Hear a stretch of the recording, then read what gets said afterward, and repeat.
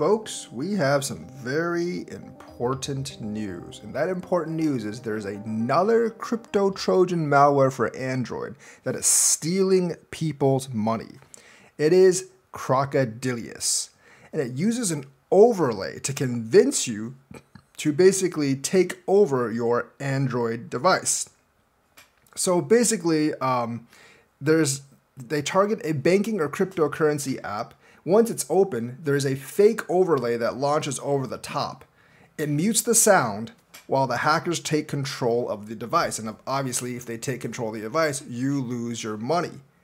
It was found by cybersecurity th- firm ThreatFabric. And basically, it's a new family of mobile device malware. It can only affect Android. Uh, it said on March 28 that the Crocodilus malware uses a screen overlay warning users to back up their crypto wallet by a specific deadline or risk losing access. So if you have a uh, overlay suddenly warning you to back up your crypto wallet by a specific deadline, you should not do it because that's probably this malware. Once a victim provides a password from the application, the overlay will display a message, back up your wallet, key in, in the settings within 12 hours. So basically, if you get a message saying like, go into the settings and back up your wallet keys, don't do it. They just want your wallet keys.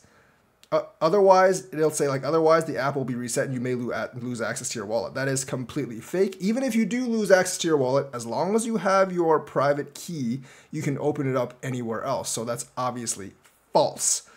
It's a social engineering trick and that guides the victim to navigate their seed phrase, allowing Crocodilus to harvest the text using the accessibility logger. So essentially, um, this is definitely not something you want to do because if you actually do it, you're going to lose all your money and you're not going to really know what hits you. You'll think you're like backing up your wallet, but you're actually giving the keys to the hacker.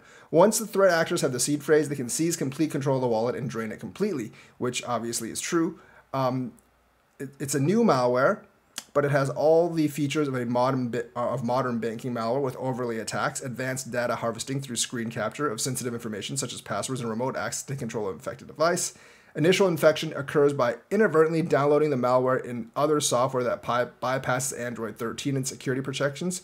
Um, so basically, like if you download stuff, which a lot of people do with their phone, you could actually be prone to getting infected. So please watch out. And of course, um, the overlays, they kind of look like this, targeting banks and crypto. You do not actually want to enter your PIN for your bank account or uh, basically um, your thing for your crypto, your password for your crypto account or your 12 word, 24 uh, word passcode or whatever. And um, yeah, just be just please watch out for this because uh, you know in this time when everyone's crypto is dumping, you don't want to lose it all. So that's the news for today. Let me know what you think. Like and subscribe, hit that bell notifications button. Thank you and have a nice day.